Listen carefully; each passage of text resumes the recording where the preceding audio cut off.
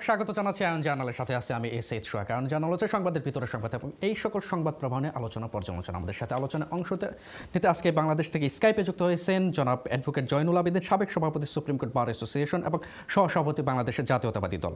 এছাড়া আরও যুক্ত হয়েছেন কাজী ফিরোজ রশিদ, মাননীয় সংসদ সদস্য এবং সাবেক মন্ত্রী। এছাড়া আরও যুক্ত হয়েছেন জনাব অসীম কুমার উকিল, মাননীয় সংসদ সদস্য ও সাংস্কৃতিক বিষয়ক সম্পাদক বাংলাদেশ আওয়ামী লীগ। স্বাগত আপনাদের তিনজনকে আজকের অনুষ্ঠানে যুক্ত হওয়ার জন্য। পরবর্তী মূল আলোচনায় যাওয়ার আগে শুরুতেই দেখে নেব আজকের শীর্ষ কয়েকটি পত্রিকার প্রধান শিরোনাম। দৈনিক যুগান্তর, উজানে ফের ভারী বৃষ্টিপাত, মধ্যাঞ্চলে সতেরো জেলায় বন্যার অবনতি। বিদেশি বিনিয়োগের পরিবেশ সৃষ্টি, আর্থিক খাতে আসছে সাত সংস্কার। বন্যা পুনর্বাসন কর্মসূচি নিয়ে প্রধানমন্ত্রীর নির্দেশ। বাংলাদেশ প্রতিদিন আস্থা ফিরছে না চিকিৎসা সেবায়। কোভিড নন কোভিড কোনো রোগেই যাচ্ছে না হাসপাতালে। ভোগান্তি সীমাহীন। এছাড়া রয়েছে, ঝুঁকি বেড়েছে মানি লন্ডারিংয়ের সুইস ব্যাংকে বাংলাদেশের বিপুল অর্থ। দৈনিক ইত্তেফাক, সিন্ডিকেটের চাপে শর্তে হচ্ছে জনতা ব্যাংক চেয়ারম্যানকে বন্যা পরবর্তী পুনর্বাসনে জোর দিতে নির্দেশ প্রধানমন্ত্রীর। এছাড়া রয়েছে শীঘ্রই স্বাস্থ্য খাতে দৃশ্যমান পরিবর্তনের ব্যাপারে আশাবাদী নতুন ডিজি। এছাড়া আরও রয়েছে, স্বাস্থ্য খাতে বাইরের হস্তক্ষেপ বেশি বলেছেন স্বাস্থ্যমন্ত্রী। দৈনিক দৈনিক জনকণ্ঠ, মন্দের ভালো অনলাইন ও টিভি ক্লাসেও সংকট যাচ্ছে না করোনাকালে শিক্ষা। এছাড়া রয়েছে, বন্যা শেষে কার্যকর পুনর্বাসন কর্মসূচি দিন। করোনা মোকাবেলায় যুবকদের সম্পৃক্ত করুন বলেছেন প্রধানমন্ত্রী। দৈনিক ইত্তেফাক, সিন্ডিকেট, সিন্ডিকেটের চাপে সরতে হচ্ছে জনতা ব্যাংক চেয়ারম্যানকে। দৈনিক নয় দিগন্ত, রাজধানীতে পশু বিক্রয় মন্দা শনাক্তে এখন ইতালির পরেই বাংলাদেশ। এছাড়া রয়েছে মানবিক বিপর্যয়ের সংখ্যা পণ্য দুর্গত এলাকায়। দৈনিক ভোরের কাগজ সবসময় মানুষের পাশে দাঁড়াতে হবে বলেছেন প্রধানমন্ত্রী। স্বাস্থ্যবিধি উপেক্ষিতই রইল কোরবানির হাটগুলোতে। এছাড়া রয়েছে ভারত বাংলাদেশ সম্পর্ক, পারস্পরিক শ্রদ্ধা এবং বিশ্বাসের। এই ছিল কয়েকটি পত্রিকার প্রধান শিরোনাম। আমরা চলে যাচ্ছি মূল আলোচনায়। শুরুতেই আমি যাচ্ছি জনাব অসীম কুমার উকিল আপনার কাছে। আপনি কি শুনতে পাচ্ছেন? জি, জনাব অসীম কুমার উকিল মনোনয়ন সংসদ সদস্য। দাদা, আপনি কি শুনতে পাচ্ছেন? জি। জি ধন্যবাদ আজকের অনুষ্ঠানে যুক্ত হওয়ার জন্য। আমি শুরুতে যে প্রসঙ্গে আপনার কাছে আসতে চাচ্ছি সেটি হচ্ছে যে আমাদের জানি যে একটি করোনাকাল চলছে এবং করোনাকাল শেষ না হতে যখন করোনাকাল করোনার যে প্রাদুর্ভাবে সারা বিশ্ব আক্রান্ত এবং তারই সাথে সাথে বাংলাদেশেও এটি চরম আকার ধারণা ধারণ করেছে এবং সেই সাথে বন্যার প্রকোপ যেমন অনেকটা ভয়াবহ বন্যাই বলা যেতে পারে। তো এই পরিস্থিতি সরকার কীভাবে সামাল দিচ্ছে? আপনাকে ধন্যবাদ। একটি সুন্দর আলোচনায় আমাদেরকে সম্পৃক্ত করার জন্য। আমি আলোচনার শুরুতেই আমাদের একজন মাননীয় সংসদ সদস্য, আওয়ামী লীগের সংগ্রামী নেতা ইস্তেফুল আলম, আপনার করোনা আক্রান্ত হয়ে আমাদের মাস থেকে চিরদিনের জন্য হারিয়ে গেছেন। তার বেদি আত্মার মাক্ষরত কামনা করছি সুখ সন্তত পরিবারের প্রতি সমাধান করছি। ইতিমধ্যে করোনা আক্রান্ত হয়ে যারা মৃত্যুবরণ করেছেন আমি সকলেরই এই বিধি আত্মার মাক্ষরত কামনা করছি। যারা করোনা আক্রান্ত হয়ে চিকিৎসাধীন আছেন প্রত্যাশাবাদ ব্যক্ত করছি তারা শীঘ্রই আরোগ্য লাভ করবেন। নিঃসন্দেহে আমি কথা বলছি আমার গ্রাম থেকে নেত্রকোনার কেন্দ্র থেকে। আমি সেখানে মূলত আছি আসলে করোনার পাশাপাশি বন্যা বন্যার্থ মানুষের মাঝে আমি আজকেও আমার নির্বাচন এলাকার কিছু এলাকায় গিয়েছিলাম বন্যার্থদের মাঝে ত্রাণ বিতরণের জন্য। আচ্ছা। আমাদের নেত্রকোনা অঞ্চল বা ময়মনসিংহ অঞ্চলে বন্যার প্রকোপটুকু আছে। খুব ভয়াবহ বিষয়টা তা নয়। খুব আচ্ছা। ভয়াবহ তা নয়। কিন্তু সবকিছু মিলে মরার উপর খারার ঘাড় মতো যখন করোনা পরিস্থিতি মোকাবেলা করছি আমরা সামগ্রিকভাবে মাঝে মাঝে হিমশিম খাচ্ছি মাঝে মাঝে সাহসিকতার সাথে রুখে দাঁড়াচ্ছি। ঠিক সব সেই সময় বন্যাটা এটা মানে আমরা তো আসলে এটা মানে সরকারি দল হওয়ার কারণে সরকারের ত্রাণ বিতরণ সরকারের গৃহীত সামগ্রিক পদক্ষেপগুলি আমরা দলীয় নেতা কর্মীরা বা স্থানীয় প্রতিনিধিরা যাতে প্রপার ডিস্ট্রিবিউশন হয় প্রপারলি মানুষের দরকার পৌঁছে সে বিষয়গুলো আমরা খেয়াল রাখছি। এর মধ্যে দাঁড়িয়ে থেকে মানে মেনলি আসলে শুকনো খাবার পরে আপনার ওয়াটার পিউরিফাইং ট্যাবলেট পরে এই- রকম যে জিনিসগুলি খুব প্রাথমিক অবস্থা দরকার পড়ে সেই বিষয়গুলি আমরা দিচ্ছি। এবং আমি মনে করি যে আমরা সফলতার সাথে এখন পর্যন্ত সামগ্রিক পরিস্থিতিটা মোকাবেলা করছি। করোনাটা আমরা একটা জায়গায় সহনশীল পর্যায়ে এসেছি তার মধ্যে বন্যা। দুটি পরিস্থিতি আমরা সামনে রেখে আমরা রাজনীতি করার মানুষগুলো সবাই মিলে কাজ করছি এগিয়ে যাচ্ছি সাহসিকতার সাথে। একটি জিনিস ভালো যে এই সময় আসলে মাঠে সেই অর্থে ফসল নেই জ্বালা জমে যেটুকু আছে আর কি। মানে ক্ষতি হচ্ছে কিন্তু সেই ক্ষতিটা অপূরণীয় বলে মনে হয় না এখনও। মাছের গ্যার হয়তো কিছু ভাসিয়ে নিয়ে যাচ্ছে মাছ। কিন্তু সবকিছু সহনশীলতার মধ্যে আছে। সরকার তার সর্ব শক্তি নিয়ে কাজ করছেন সকল সেক্টরকে মাঠে নেমেছেন দল তৃণমূলের সকল পর্যায়ের নেতা কর্মীদেরকে নিয়ে জাতীয় সংসদ সদস্য এবং স্থানীয় সরকার প্রতিনিধিরা সবাই মিলে আমরা কাজ করছি সাহসিকতার সাথে। আচ্ছা। জি ধন্যবাদ আপনাকে। আমি আপনার কাছে আপনার কাছে এই প্রসঙ্গে আবার ফিরে আসব। তার আগে আমি চলে যাচ্ছি অ্যাডভোকেট জয়নুল আবিদিন আপনার কাছে। আপনি কি শুনতে পাচ্ছেন? শুনতে পাচ্ছি। জি, আপনি- আপনি শুনতে পাচ্ছেন? জি শুনতে পাচ্ছি। ধন্যবাদ আপনাকে আজকে যুক্ত হওয়ার জন্য। আমি আপনার কাছে যে প্রসঙ্গে আসতে যাচ্ছে যেহেতু করোনা কাল চলছে তা তো সেই প্রসঙ্গে থেকে আমি একটু দূরে সরে আমি একটু বন্যা পরিস্থিতিতে আসতে যাচ্ছি। সেটি হচ্ছে যে আমরা যেমন যখনই কোনো মহামারী কিংবা দুর্যোগ আসে তখন আসলেই ত্রাণের বিষয়টি চলে আসে এবং সেই সাথে ত্রাণের যে অনিয়মের বিষয়টি সেটিও সেটিও সামনে চলে আসে। তো সরকার বলছে যে ত্রাণ যথার্থ পরিমাণে দেওয়া হচ্ছে বাট যারা ভুক্তভোগী তারা বলছে যে ত্রাণ পাচ্ছেন না। তো এই বিষয়ে আপনার মন্তব্য কি? কি হচ্ছে? আপনি প্রথমেই কিন্তু এই যে পত্রিকার শিরোনামগুলো পড়লেন জি। এবং সেখানেই বা সবকিছু কিন্তু বলে দেওয়া আছে। তারপরেও একটি কথা বলি। সেটা হচ্ছে যে বাংলাদেশের মানুষ কিন্তু সবসময় দুর্যোগ মোকাবিলা করে বেঁচে আছে। জি। তবে আমি আলোচনা করার পূর্বে আমি এই যে করোনায় সম্প্রতি বেশ কিছু নামি দামি মানুষরা আমাদের থেকে হারিয়ে গিয়েছে। অনেক সংসদ সদস্য হারিয়ে গিয়েছে অনেক গুণীজন হারিয়ে গিয়েছে অনেক শিক্ষক হারিয়ে গিয়েছে এবং অনেক রাজনীতিবিদ হারিয়ে গিয়েছে। আমি সকলের আত্মার মাত্রার কামনা করছি। তো দেখুন এই যখন সারা আহ, পৃথিবীতে এই মহামারীর অবস্থা তখন বাংলাদেশ এবং শুধু আমাদেরই দেশে না ভারতেও পার্শ্ববর্তী দেশ ভারতেও এর একটা বন্যা কবলের মধ্যে পড়েছে। আমরা আগে আমাদের দেখুন আমার দেশ তো দক্ষিণ অঞ্চলে বরিশাল অঞ্চলে। মানুষ কিন্তু আগে এক সময় বরিশালের দিকে যেতে দক্ষিণ বাংলার দিকে যেতে ভয় পেত। বলতো যে এটা পানির জায়গা ওখানে যাওয়া যাবে না। কিন্তু এখন দেখে সেই পানি এখন নওগাঁ আপনার আহ, বগুড়া রংপুর ঠাকুরগাঁ জামালপুর সমস্ত এলাকায় পানি আপনার থই থই থই থই করছে। এই অবস্থার মধ্যে আমরা আছি। দেখুন দুর্যোগ বাংলাদেশে থাকবে এটাই স্বাভাবিক। তো যখন মহামারী আকার চলছে এইটাকে নিয়ে যখন আমরা হিমশিম খাচ্ছিলাম তখন বাংলাদেশে আবার শুরু হলো আমরা কি দমন করতে হবে? দুর্নীতি দমন করতে হবে। এই দুর্নীতি দমনের এখন কোভিড এর চাইতেও আমরা চলে গেছি দুর্নীতি দমনের দিকে। আর কোথায় দুর্নীতি হচ্ছে কাকে সরাতে হবে কি করতে হবে এগুলো নিয়ে। আমরা যে চিকিৎসা ব্যবস্থা যে উন্নত করা সেদিকে আমরা যেতে পারছি না। এর মধ্যে আবার এই বন্যা। বন্যা আপনি যে কথা বললেন যে এই বন্যাকে কেন্দ্র করে আপনি দেখেন এই কোভিড যখন শুরু হয় প্রাথমিক অবস্থায় কিন্তু আমরা অনেককে দেখেছি ফেসবুকে দেখেছি বা অনেক রাজনীতিবিদকে দেখেছি ত্রাণ দিচ্ছে তারপরে আবার এর মধ্যেও আবার লুটপাটও হয়েছে সেটাও আমরা দেখেছি যে এই এই এই ঘটনাগুলো চলছে।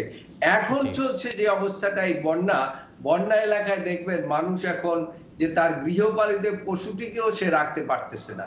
সে তাকে খাওয়াতে পারছে না। এবং মানুষের যে এত দুর্যোগ এইটা ওই অঞ্চলের লোক ব্যতীত কেউ বলতে পারবে না। কিন্তু যে পরিমাণ ত্রাণ সেখানে যাওয়া দরকার আমরা এতদিন পর্যন্ত যে কথাটা শুনে এসেছিলাম যে বাংলাদেশ উন্নয়নের দেশ এবং উন্নয়নের সর্বক্ষেত্রে আমরা এগিয়ে আছি। কিন্তু এখন দেখা যাচ্ছে আপনি দেখবেন পত্রপত্রিকাও আছে আজকের দিনে। আপনি বলেছেন যে বন্যা মহামারীতে আমরা এখন তলিয়ে যাচ্ছি।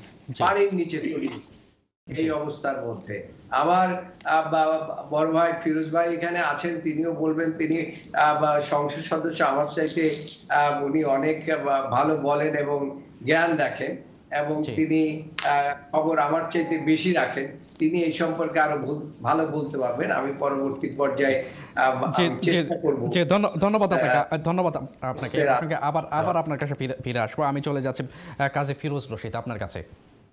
আপনি কি শুনতে পাচ্ছেন?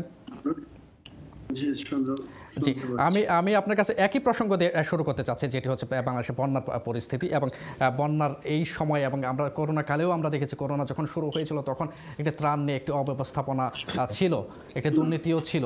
তো এই এখনও এই বন্যা যখন মহামারী আকার ধারণ করছে, সেই মুহূর্তে আমরা দেখি ত্রাণ নিয়ে একটি অনিয়ম দেখা যাচ্ছে। তো এই বিষয়ে আপনার মন্তব্য কি? ধন্যবাদ। আসলে আমার ভাই খুবই আমাদের গভীর সম্পর্ক আমার বন্ধু সুপ্রিমের বারবার নির্বাচিত সভাপতি বলছেন, আমি তার সাথে একমত যে আমাদের দেশ নতুন না। আমরা কিন্তু বন্যায় অভ্যস্ত। উনিশশো একাশি অষ্টআশি সালের ভয়াবহ বন্যা হয়েছিল। সে বন্যা আমরা মোকাবিলা করেছিলাম। তারপরে একটার পর একটা বন্যা আছে প্রতি বছর ঘূর্ণিঝড় আছে। এবছর আপনি লক্ষ্য করবেন আমপান নামে একটি ঘূর্ণিঝড় সম্প্রতি আঘাত থেমে গেছে। সে আঘাতে কিন্তু বাড়ি ঘর তছনছ হয়ে গেছে দক্ষিণ বাংলা সমুদ্র পাড়ে মানুষ সেই থেকে মুক্তি পাওয়ার আগেই কিন্তু আবার একটি বন্যা ধেয়ে আসছে এবং এই বন্যাটা দীর্ঘস্থায়ী হতে পারে।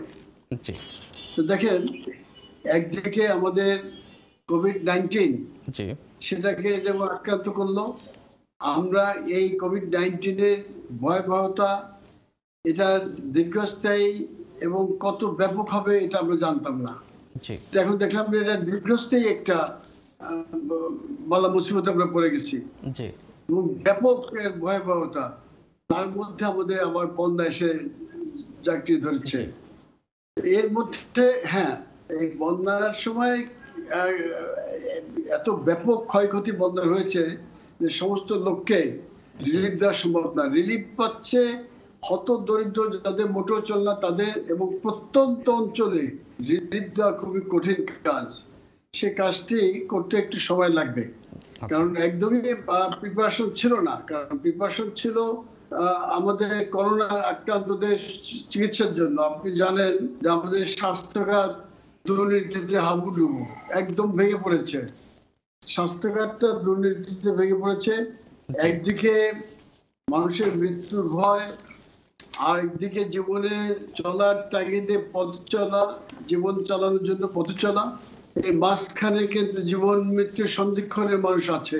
তার মধ্যে বন্যাটা কিন্তু আমাদের বাড়তি একটি অসুবিধার সৃষ্টি করেছে।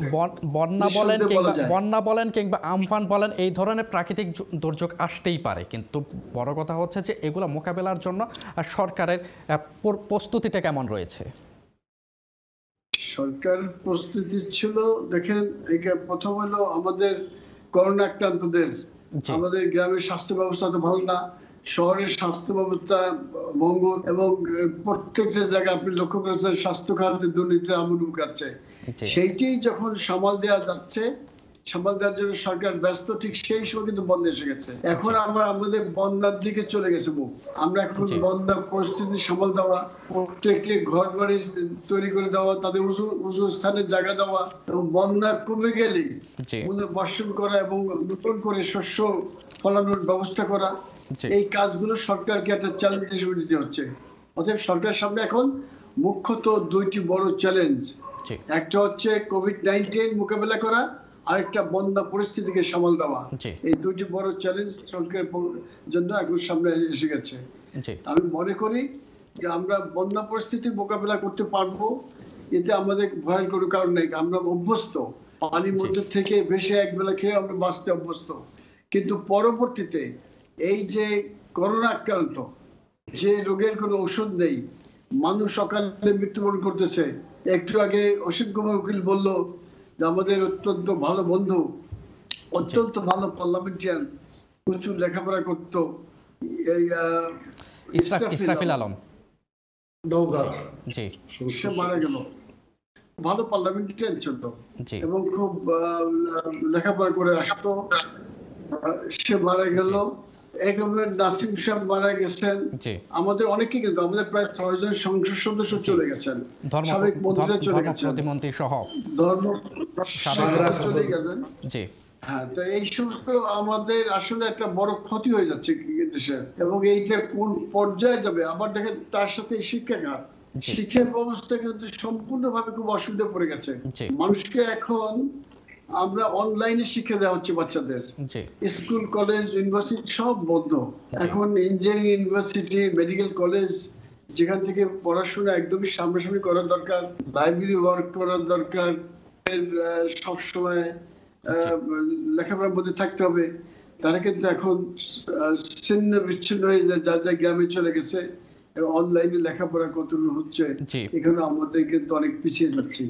এই সব কিছু মিলেই আমরা একটি বিরাট ঝুঁকির মধ্যে রয়ে গেছে আমাদের জীবনযাত্রা সভ্যতা বলেন মানবতা বলেন আমাদের উন্নয়ন বলেন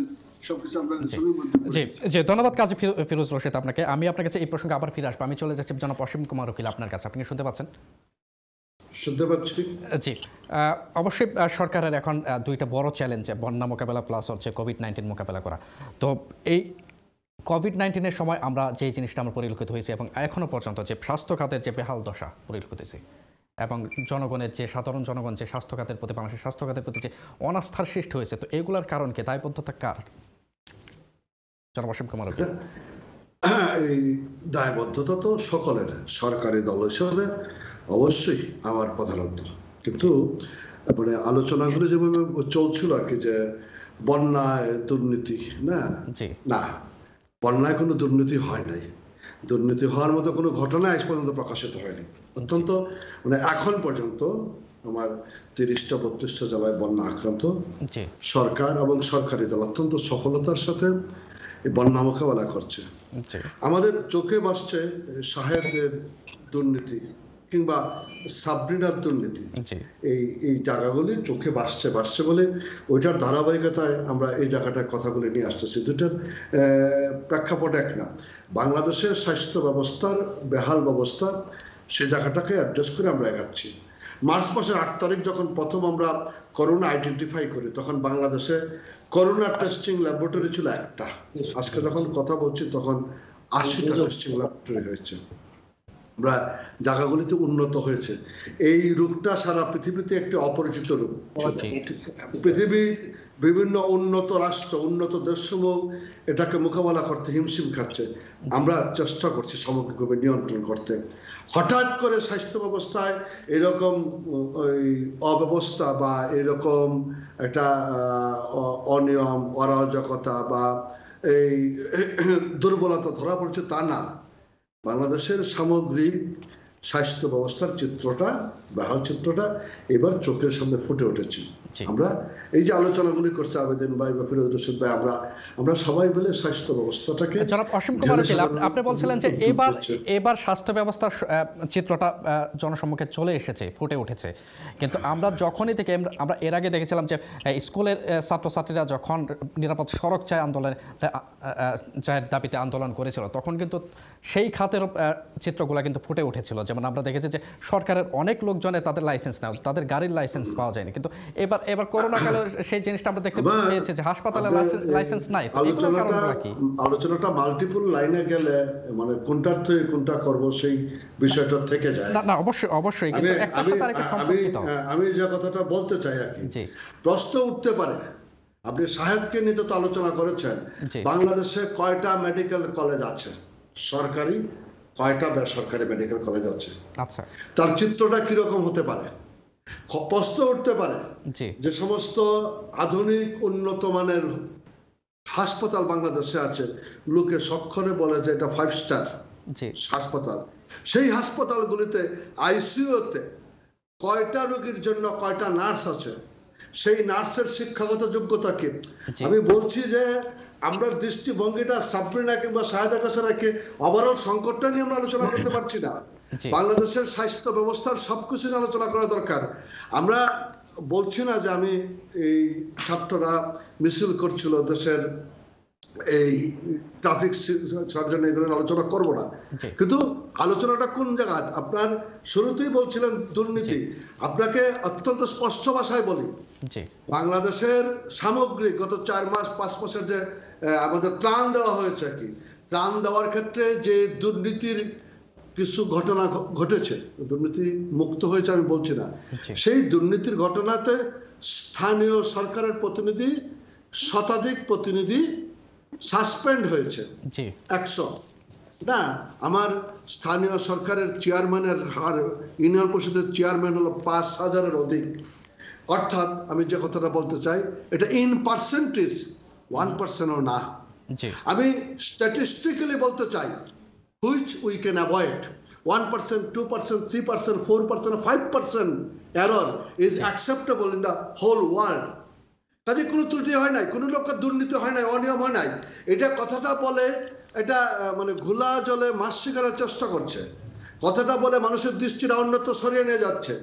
বাংলাদেশের স্বাস্থ্য ব্যবস্থা নিয়ে কথা বলতে হলে সব কিছু নিয়ে কথা বলতে হবে। একজন ডাক্তার একটা সিটিংয়ে বসে শত শত পেশেন্ট কীভাবে দেখে সেটা কি কোনো আলোচনা করার চেষ্টা করেছে? উন্নত বিশ্বে কি কোথাও আছে? মানে এই যে এই যে জায়গাগুলিতে ডাক্তার নার্সের সম্পর্কের জায়গাটা আমরা বিএসসি নার্স চালু করেছি আমার সরকার। আমার নেত্রী নার্সদের ক্লাস আপগ্রেডেশন করেছে। তারপরে বললাম তো বড় বড় আপনার স্কয়ার হাসপাতাল কিংবা ইউনাইটেড হাসপাতাল কিংবা অ্যাপোলো হাসপাতাল কয়জন প্রফেসর চলো অসীম কুমার কেলা আমাদের আমাদের জন্য অনেকগুলো কলার ওয়েট করছেন। আমরা এর মাঝ থেকে একটি কল নিয়ে নিই। হ্যালো কলার হ্যালো হ্যালো আসসালামু আলাইকুম। ওয়ালাইকুম আসসালাম আপনার পরিচয় দিয়ে আপনার প্রশ্নটি বলুন। আমার পরিচয় হলো আমি আতর রহমান লন্ডন থেকে। জি জি আপনার প্রশ্নটি বলেন। আমার প্রশ্নটি তো ভাই কয়েকটা প্রশ্ন। জি জি প্রশ্ন বলুন। প্রশ্নটা হচ্ছে এই যে পেপার পত্রিকায় দেখলাম জি। যে বন্ধুর জলে বাংলাদেশ বন্ধুর চোখের জলে বাংলাদেশ। এমনি আমাদের ওরা হিসার পানি দেয় না কিন্তু বাংলাদেশ এখন ফারাক্কার ভাত। চাইরা বাংলাদেশ একবারে তোলাইয়া নিছে। জি। তারপরও আমরা বন্ধু বলি। আর এই যে আওয়ামী লীগের জি। প্রধানমন্ত্রী শেখ হাসিনা ছাড়া জি। যত সব চুর ধরা পড়ছে আপনার ডেস্টিনি বেস্টিনি এগুলি তো অনেক পুরাতন। নতুন কতগুলা ধরা পড়ছে? আওয়ামী লীগের নেতারা যে কথা বলে এটা কি সব দলের আওয়ামী লীগ ছাড়া সবের কি দায়ভার নাকি আওয়ামী লীগের দায়ভার? না এটা ধন্যবাদ আপনাকে। আরেকটা প্রশ্ন ভাইয়া। জি জি বলেন। আরেকটা প্রশ্ন হইল দয়া কইরা আপনারা বলবেন যে এক দর্শক প্রশ্ন করছে জি। আপনারা টিভিতে আইসা এই মিথ্যাচারটা বন্ধ করেন আর কবে বন্ধ করবেন? Please please please. জি ধন্যবাদ আপনাকে। আপনি সরকারকে তখনই দোষারোপ করতে পারেন যখন সরকার যারা দুর্নীতি করছে যারা অনিয়ম করছে তাদের যদি গ্রেপ্তার না করতো তখন দোষারোপ করতে পারতেন। জনাব অসীম কুমার যে প্রসঙ্গে কথা বলছিলাম।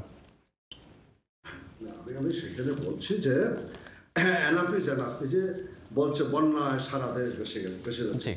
বন্যা হচ্ছে কিন্তু সারা দেশ ভেসে গেছে কিংবা কেউ পানি ছেড়ে দিয়েছে। এগুলি পুরাতন কথা অবান্তর কথা। আর কি। আওয়ামী লীগরা ভোট দিলে দেশের ধর্ম থাকবে না মসজিদ থেকে উলোধ্বনি শোনা যাবে এই টাইপের কথাবার্তা। আমরা সেই আলোচনাগুলিতে যাব না। আমি যে কথাটা বলতে চাই যে আমরা সবাই মিলে জায়গাগুলিকে অ্যাড্রেস করছি। আমরা স্বাস্থ্য ব্যবস্থাটা থেকে শুরু করে সামগ্রিকভাবে সবগুলো জায়গাতে আমরা অ্যাড্রেস করে এগিয়ে যাওয়ার চেষ্টা করেছি। অবশ্যই আমি আবারও বলছি যে বলে যে এই আজকের দিনে দাঁড়িয়ে বাজেটের আমরা স্বাস্থ্য খাতের বাজেট নাকি সাফিসিয়েন্ট রাখি না বাজেট প্রথম কথা বাজেট সারা বছরের আয় ব্যয় হিসাব। এবারের বাজেটটা আমরা করেছি অবশ্যই বাজেটটা করেছি। স্বাস্থ্য খাতের গতবারের তুলনায় অতীতের তুলনায় বাজেট বৃদ্ধি করা হয়েছে। সেটা যথেষ্ট নয়। আমি তো বলি না যেটা যথেষ্ট। আমরা অ্যাডজাস্ট রিঅ্যাডজাস্টের সুযোগগুলি আছে। আমরা বিশেষভাবে এবারের স্বাস্থ্য খাতটাকে দেখে সব কিছু বিবেচনা করে অগ্রসর হচ্ছি। এবং আমরা নিঃসন্দেহে আমরা সবাই মিলে সচেতনতার সাথে সামগ্রিকভাবে পরিস্থিতিটা মোকাবেলা করে এগিয়ে যাচ্ছি। সামনে কোরবানির ঈদ আছে।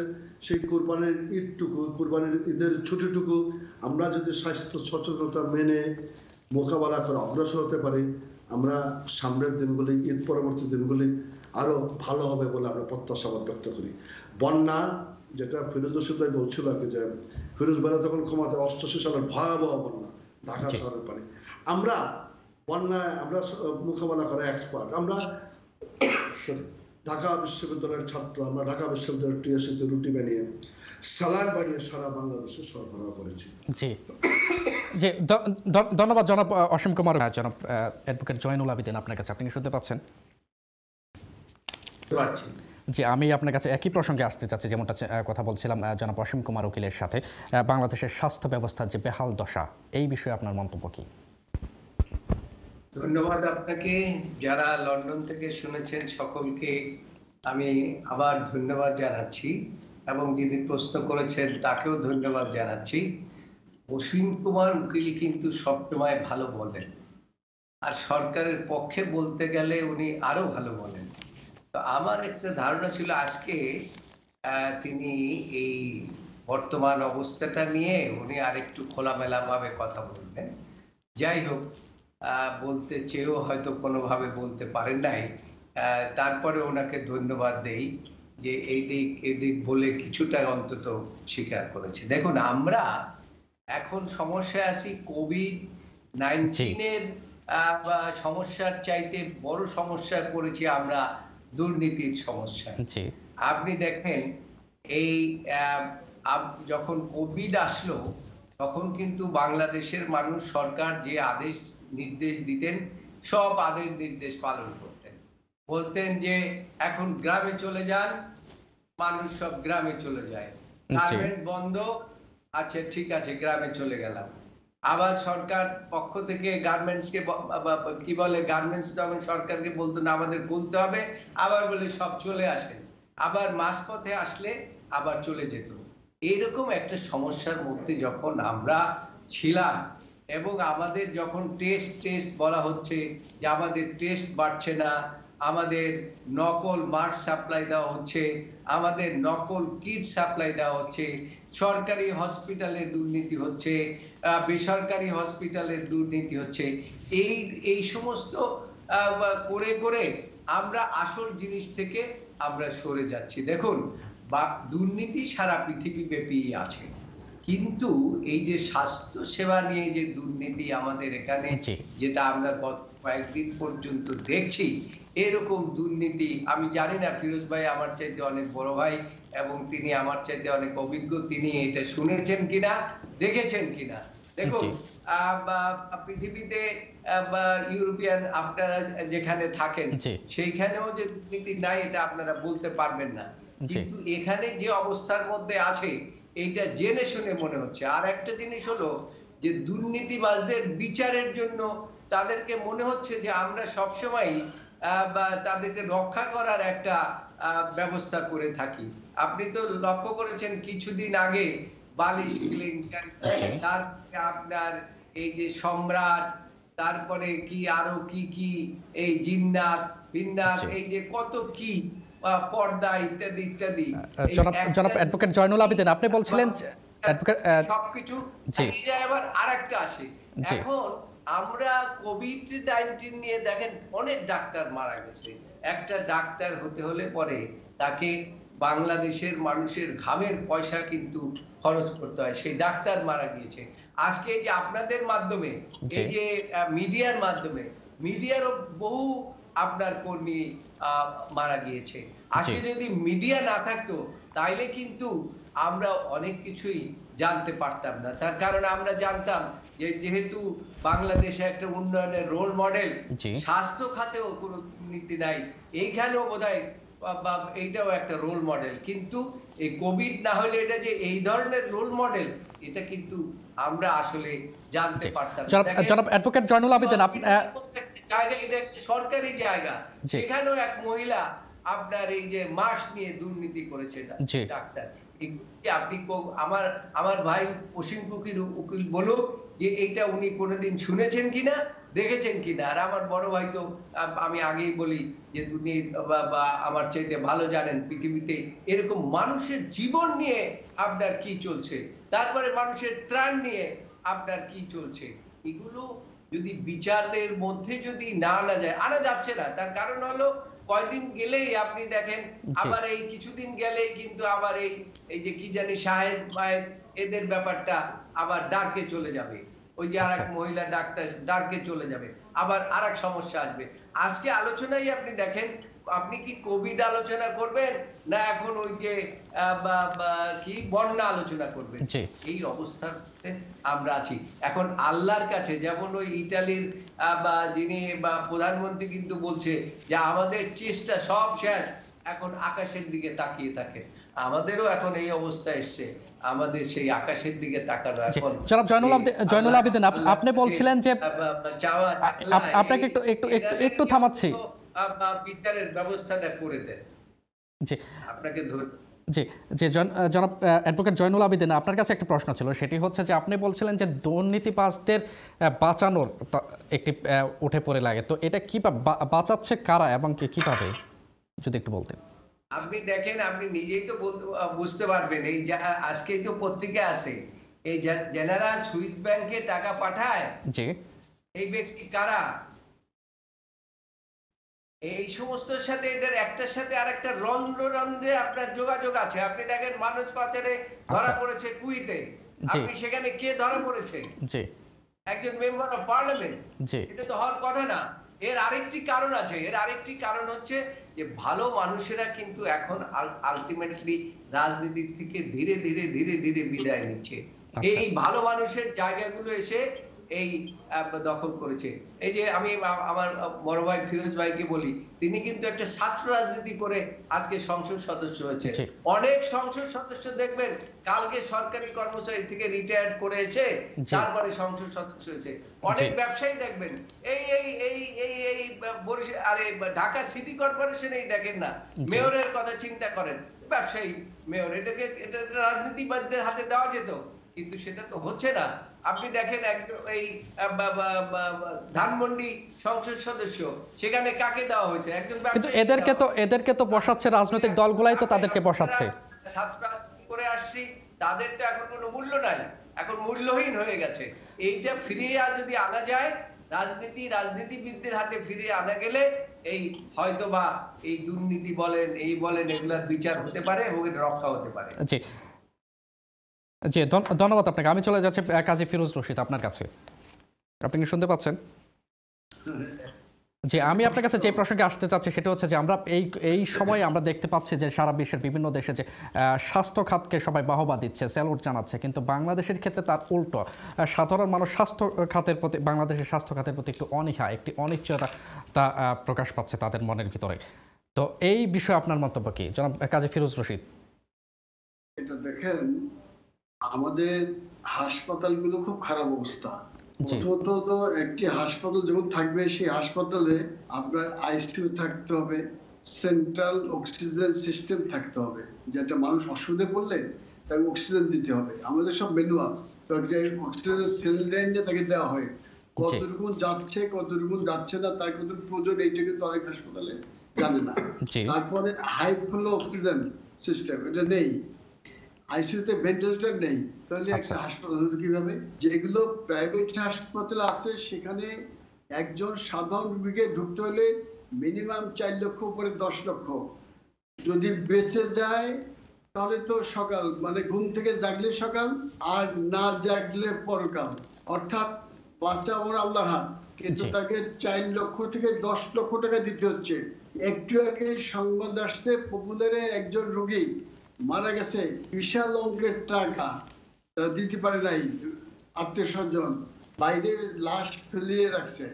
সেখানে সাংবাদিকরা এখন গেছে। এইটা হচ্ছে হাসপাতালে একটা বেহাল অবস্থা। প্রাইভেট হাসপাতাল মানুষ যেতে চায় না ভয়ের চোটে কেন টাকা নেই। গরিবদের জন্য কোনো জায়গা নেই। আর সরকারি হাসপাতালে সিট খালি। ওখানে যারা কোনো চিকিৎসা হয় না। আমার ভাই জয়নুল আবদি সাহেব জানেন যে আমাদের advocate doctor Inamul ji. Young doctor একজন ইয়ং ইয়ং বিনা চিকিৎসায় মারা গেছে এবং সে কোভিড নাইন্টিনে আক্রান্ত ছিল করোনায়। আমি তাকে একটা হাসপাতালে ভর্তি করলাম। রাতে আমাকে ফোন করল বারোটার সময় যে চাচা আমার মুখের থেকে যে ই ছিল অক্সিজেন মাস্কটা একটু খুলে নিয়ে চলে গেছে। কে নিচ্ছে আমি জানি না।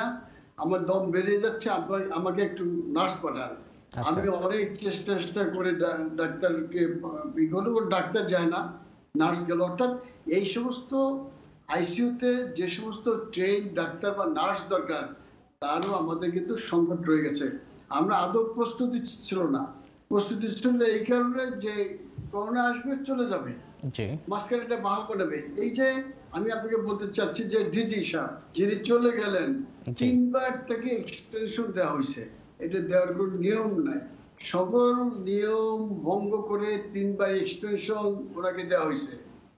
উনি এই স্বাস্থ্য খাতে দেখেন আমরা পত্রিকা পড়ে বা আপনাদের টেলিভিশনের মাধ্যমে জানতে পারি বিটু সিন্ডিকেট দীর্ঘদিন যাবত তারা এখানে রাজনীতি করে যাচ্ছে। কে কোথায় বদলি হবে কে ডিসি হবে কে ডাইরেক্টর হবে কে স্টোরেজ চার্জে থাকবে সব বিটু ঠিক করে দিত। কোন হাসপাতালে কি কি যন্ত্রপাতি লাগবে এটা বিটু ঠিক করে দিত। এইটা হচ্ছে বিটুর অবস্থা। আচ্ছা। সে ধরাস্তার বাইরে এখন সে বিদেশ চলে গেছে। এক হাজার কোটি টাকা নিয়ে পালিয়ে চলে গেছে। আফজাল দম্পতি সে একজন অ্যাসিস্ট্যান্ট অ্যাকাউন্টেন্ট ছিল স্বাস্থ্য মন্ত্রণালয় সে কীভাবে পাঁচটা কোম্পানি করে ওখান থেকে শত শত কোটি টাকা আত্মসাৎ করছে? তারা। করে অস্ট্রেলিয়া নমস্কার বাইরে। এই বাসের আমাদের এখন দেখেন এই যে হাসপাতাল থেকে আমাদের সিরাজগঞ্জ আমাদের ক্যাপ্টেন মনসুর আলী হাসপাতাল সেইখান থেকে তিরিশ কোটি টাকা কন্ট্রাক্টর নিয়ে বেশি বিল করে নিয়ে হংকং পাচার করছে এটা দুটোকে রিপোর্ট ডাক্তার সাবরিনা উনি কলেজের রেজিস্ট্রার এত ভালো একটা পদ বুঝেন সরকারি চাকরি রেজিস্ট্রার খুব বড় পদ। আমি একটা হাসপাতালের সভাপতি আমি জানি যে কি অবস্থা চলে হাসপাতাল। হাসপাতালের রেজিস্ট্রার তার কি উচিত ছিল এই সমস্ত সে তো জানতো যে কোন মার্কসটা স্ট্যান্ডার্ড কোনটা জীবন রক্ষাকারী বেশি কোনটা সাধারণ লোকটা পড়বে কোনটা সার্জিক্যাল মার্কস এইগুলো সম্পর্কে জ্ঞান আছে। সে যদি এইগুলো করে থাকে তো বিরাট অন্যায় কাজ করেছে ঢাকা বিশ্ববিদ্যালয় রেজিস্টার রেজিস্টার সে ভদ্র বলে কিন্তু এর সাথে জড়িত। আমি আমাদের দুর্ভাগ্য দেশে বুঝলেন? যে দেশটা অনেক কষ্ট করে স্বাধীন করেছিলাম। এই তিরিশ লক্ষ মানুষ রক্ত দিল দেশ স্বাধীন করতে গিয়া সেটা আমি একজন মুক্তিযোদ্ধা হিসেবে বলতে চাই যে আমরা যে লক্ষ্য করে দেশ স্বাধীন করেছিলাম এই সবাই যদি এইভাবে করতে চায় একটা দেশের প্রতি এতটুকু মমতাবোধ ভালোবাসা না থাকে মানুষের প্রতি মানসিক দরদ না থাকে তাহলে হবে কেন? একটা হাসপাতাল হইতো না যদি দেশ স্বাধীন না হতো। এত বড় বড় হাসপাতাল প্রাইভেট হইতো না। ফাইভ। স্টার হোটেল একটা হাসপাতাল সেখানে সাধারণ রোগীদের কোনো চিকিৎসা নাই। তাহলে কাদের জন্য? এই মানুষের জন্য দেশটা। অবশ্যই। আমাদের জয়লাভ উনি ভালো জানেন আর্টিকেল সেভেনে আছে যে এই প্রজাতন্ত্রের মালিক হচ্ছে জনগণ। সেই জনগণকে যদি আমরা সেবা না দিতে পারি তাদের দুঃসময় যদি আমরা তাদের সাহায্যের হাত না বাড়াতে পারি তাদের যদি সুচিকিৎসার ব্যবস্থা না করতে দিতে পারি তাহলে আমরা আমরা কীভাবে চালাবো বুঝেন না? এগুলো আমাদের সাধারণত ভীষণ কষ্ট দেয়। একা অষ্টআশি সালের বন্যা এটা এসের সাহেব তখন ই ছিলেন দেশের রাষ্ট্রপতি ছিলেন আমি ছিলাম মন্ত্রী দুর্যোগ ব্যবস্থাপনা মন্ত্রী রিলিফ কি বলা হয়। আমরা কখনো ঘুমাই নাই। মুখ বাইতে নেমে এসে সব বন্যা তদারকি করেছেন। আমাদের বলা ছিল যে কখনো ঢাকা শহরে আসব না। মন্ত্রীরা জেলায় চলে যাও ওখানে লঞ্চে ঘুমাবা। কোনো মানুষ জানি না মারা না যায়। আমরা দিন রাত কাজ করেছি। আমরা আশা করি যে বন্যায় আমরা খুব একটা অসুবিধা হবে না। ঘরে আমাদের পর্যাপ্ত খাবার আছে। বন্যা নেমে গেলে আমরা মানুষকে বাঁচাতে পারব। কিন্তু সবচেয়ে অসুবিধা হচ্ছে স্বাস্থ্য খাত এইখানে কোভিড নাইন্টিন এটা আক্রান্ত হয়ে তো আমাদের অনেক বন্ধু বান্ধব চলে যাচ্ছে। এটা একটা ভয়াবহ অবস্থা রূপ ধারণ করছে এবং আপনি দেখছেন প্রতিদিন এটার প্রকোপ বাড়তেছে একটু কমার কোনো লক্ষণ নাই। ইতিমধ্যে কোরবানি এসে গেছে মানুষ যে কীভাবে গ্রামে চলে গেছে কেউ মাস্ক পরতেছে না স্বাস্থ্যবিধি মানতেছে না। একজনকে জিজ্ঞেস করছে যে আপনি স্বাস্থ্যবিধি মানেন? কবি যে দেখেন স্বাস্থ্যবিধি মেনে গরুকে খাবার দিচ্ছে ভুসি। আচ্ছা। এটা ওটা তো স্বাস্থ্যবিধি না। আপনি কবি যে আমি আর কি করব? আমি তো গরুকেই খাওয়াচ্ছি। এই তো আমাদের দেশে অবস্থা বুঝলেন? লন্ডনে আছেন আমি দোয়া করি সবাই বাঙালি বাইরে ভালো থাকেন। আমাদের দোয়া করবেন যেন আমরা ভালো থাকতে পারি। জি জি ধন্যবাদ আপনাকে। আমি চলে যাচ্ছি জনাব অসীম কুমার উকিল আপনার কাছে। আপনি শুনতে পাচ্ছেন? হ্যাঁ যে আমরা অনুষ্ঠানে অনুষ্ঠানে প্রায় শেষ প্রান্তে আমি আপনার কাছে যে বিষয়টি জানতে চাচ্ছি সেটি হচ্ছে যে যে স্বাস্থ্য বাংলাদেশের স্বাস্থ্য ব্যবস্থা ঢেলে সাজানোর ক্ষেত্রে সরকারের কী ধরনের পদক্ষেপ নেওয়া বলে নেওয়া উচিত বলে আপনি মনে করেন? আসলে আলোচনাটা তো শুরু হয়েছিল বন্যা জি। তারপরে কোভিড কোভিড দুর্নীতি। আবার দুর্নীতির মধ্যে নিয়ে গেলেন আমাদের লার্নেড লয়ার বাংলাদেশের সর্বোচ্চ আদালতের আদালতের নির্বাচিত প্রতিনিধি সর্বজন শ্রদ্ধা একজন লয়ার উনি দুর্নীতির মধ্যে নিয়ে গেছেন। আমি আপনার প্রশ্নটার এক সেন্টেন্সে মোটার আগে বলি। হ্যাঁ স্বাস্থ্য ব্যবস্থাকে ঢেলে সাজানোর লক্ষ্যেই জি। ইতোমধ্যে স্বাস্থ্য সচিব পরিবর্তন হয়েছে ডাইরেক্টর সব পরিবর্তন হয়েছে ডিজি পরিবর্তন হয়েছে। এটি স্বাস্থ্য ব্যবস্থাকে ঢেলে সাজানোর লক্ষ্য হয়েছে ভেতরের টেন্ডার প্রক্রিয়াগুলি আরও ট্রান্সপারেন্ট করা ডিজিটালাইজ করা সব কিছু পদক্ষেপগুলি নেওয়া হয়েছে। রেজাল্ট এখনই চাক্ষুষ আসবে না সময় আসবে। এবং এটা আগামী দিনগুলিতে অনাগত দিনগুলিতেও যতটুকু দরকার ততটুকু করা হবে। কিন্তু আমাদের জয়নাল আবেদিন ভাই তো একটি দলের সাথে সম্পৃক্ত। একটা দলের সাথে যখন সম্পৃক্ত সেই দলটা দেশ পরিচালনা করেছেন একটা সময়। দীর্ঘ সময়। তো উনি যখন কথা বলছেন তখন মনে হচ্ছে যেন ওনারা ধুয়ো তুলসী পাতা সমস্ত দায় দায়িত্ব আমার আমার এই জায়গাটাতে আপত্তি। আমার কথা হইল যে আচ্ছা। ফিরোজ ভাইরা যখন দায়িত্ব নিয়ে কথা বলছেন জয়নাল আবেদন ভাইকে দায়িত্ব নিয়ে কথা বলতে হবে। আমি প্রথমেই বলেছি সরকারি দল হিসেবে দায়িত্বটা আমার বেশি। ফিরোজ ভাই অনেকগুলি ঘটনার উল্লেখ করেছেন। আমরা তো দুর্নীতি মুক্ত জায়গাটা তৈরি করতে চাই।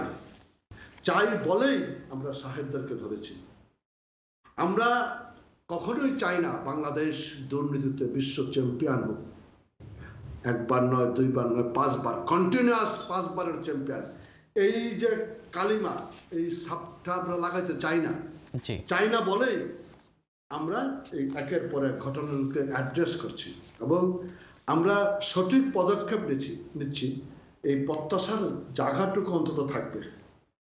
আমি স্বীকার করছি সাহেবরা আওয়ামী লীগের কোনো পদ পদবি আছে তা না কিন্তু আওয়ামী লীগ আমলের এগুলো সৃষ্টি হয়েছে। আমরা এদেরকে ধরেছি দৃষ্টান্তমূলক শাস্তির আওতায় এনেছি। আমাদের হ্যাঁ এটা প্রতিটি ক্ষেত্রে এই যে ব্যঙ্গোক্তি করে বলেন আর রস দিয়ে বলে নাকি বাংলাদেশ উন্নয়নের রোল মডেল এটা তো আমার কথা নাই আন্তর্জাতিক পর্যায়ে একটি স্বীকৃত বিষয়। আমার ইকোনমিক্সের ট্রেন্ডগুলি সবকটা আপওয়ার্ড এটা তো আমি আওয়ামী লীগের অর্থমন্ত্রী বানানোর কথা না। এটা সারা পৃথিবীতে সমর্থিত। এখন কেউ বলতেই পারে পদ্মা সেতুতে দুর্নীতি হয়েছে কাজ শুরু করার আগে। কিন্তু আমরা চ্যালেঞ্জ করে নিজস্ব অর্থায়নে পদ্মা সেতু করে আমার নেত্রী মাননীয় প্রধানমন্ত্রী শেখ হাসিনা বলেছেন যে আমরাও পারি এখানে দুর্নীতির কোনো বিষয় নাই। তা আমার কথাটা হয়েছে এই জায়গায় খুব স্পষ্ট। আমি আবারও বলছি বন্যা ত্রাণে কোনো প্রকার দুর্নীতি এখন পর্যন্ত হয়নি। আমরা কোভিড মোকাবেলায় আমাদের সরকার সর্বাত্মক চেষ্টা করেছে এবং সেখানে কিছু অনিয়ম হয় না আমি তা বলছি না। কারণ আমরা অনিয়মের বেড়াজাল ছিন্ন করে এগিয়ে যাওয়ার চেষ্টা করছি। হান্ড্রেড পার্সেন্ট বলে কোনো কিছু নাই। আবার ninety eight percent, ninety nine percent, ninety seven percent যখন পিউ রয়েছে এটাকে আমি হান্ড্রেড পার্সেন্ট ধরে নিয়ে এগোতে চাই। কিন্তু আমার এগোনোর ক্ষেত্রে আমি যখন ফিরোজ রশিদ আমার সাথে আছে, এই ক্ষেত্রে জয়নাল আবেদিন ভাই আমার পাশে থাকতে হবে। এই মহামারী বাংলাদেশের জন্য নয়। বন্যা হয়তো বাংলাদেশের যে এসেছে কিন্তু মহামারী সারা পৃথিবীতে আছে। আমার জীবন জীবিকার সামঞ্জস্য রেখে আমার প্রতিটি পদক্ষেপ নিতে হচ্ছে। এটা তো সারা পৃথিবীতে যখন লকডাউন শিথিল করা হচ্ছে তখন আমি লকডাউনকে বজায় রেখে শিথিল না করে আমি আইসোলেটেড হতে পারি না। আমার সেখানে শিথিল করতে হয়েছে আমি গার্মেন্টস যদি তখন না খুলি এক হাজার গার্মেন্টস তখন আমার গার্মেন্টসের যে অর্ডার অর্ডারগুলি চলে যায় অন্য দেশে। এটা জনাল আবেদিন ভাই ফিরোজ রশিদ ভাই সহ উপস্থাপক আপনারা জানেন একবার গার্মেন্টস এর অর্ডারগুলো আরেকটা দেশে চলে গেলে সেটা বাংলাদেশে আসবে না। আমাদের পলিসি মেকাররা গার্মেন্টস এর পলিসি মেকারদের সাথে বসে আলাপ আলোচনা করে স্বাস্থ্যবিধি মেনে কীভাবে গার্মেন্টসগুলো খোলা যায় আমরা চেষ্টা করেছি। এবং আমাদের পলিসিটা যে সাকসেসফুল হয়েছিল এক হাজার গার্মেন্টস খোলার পরে এর কোনো বিরূপ প্রতিক্রিয়া করোনার আক্রান্ত গার্মেন্টস হয় নাই। এটা প্রমাণ হয়েছে যে আমাদের সিদ্ধান্তটা সঠিক ছিল। আজকে eighty percent eighty five percent গার্মেন্টসের অর্ডার এসেছে। বাংলাদেশের সমস্ত গার্মেন্টসগুলি দাঁড়িয়ে গেছে। আমার অর্থনীতির ব্যাক বোনটা সোজা করে দাঁড়াতে পেরেছি। এটা তো বাংলাদেশ আওয়ামী লীগের বা আমাদের সরকারের সফলতা ব্যর্থতার ব্যাপার না। সারা পৃথিবীর সাথে জীবন জীবিকার সামঞ্জস্য রেখে আমরা এগিয়ে যাওয়ার বিষয়। আজকের দিনে দাঁড়িয়ে আপনি যেটা বলছেন আমাদের তো এই সিদ্ধান্তগুলি নিতে হয়। আমরা এগিয়ে যাওয়ার চেষ্টা করেছি। কিন্তু আমি যখন বলব যে না এই এই- জায়গাটাতে যাওয়া যাবে না। তখন আপনারা বলবেন যে না কোরবানির হাটটুকু দেওয়া যাবে না। কোথায়? সবাই তো একসাথে আমরা বলতে পারি না যে কোরবানির হাটটা বন্ধ রাখতে হবে। আমরা বলছি যে আমরা সবাই মিলে স্বাস্থ্যবিধি মেনে কোরবানির হাটটা ধন্যবাদ অসীম কুমার উকিল। ধন্যবাদ অসংখ্য ধন্যবাদ। ধন্যবাদ তিনজনকে আজকের অনুষ্ঠানে যুক্ত হওয়ার জন্য। দর্শক চলে এসেছে অনুষ্ঠান একেবারে শেষ প্রান্তে। পরবর্তী অনুষ্ঠান দেখার আমন্ত্রণ জানিয়ে আজকের মতো এখানেই বিদায় নিচ্ছি। আল্লাহ হাফেজ।